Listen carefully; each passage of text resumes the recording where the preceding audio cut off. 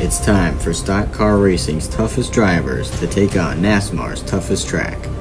Let me introduce you to the three-turn monster, also known as Pocono Raceway. We are green and Pocono. Get on her good side, and you'll be just fine. Oh yeah, we did it! If not, watch out, because she bites back.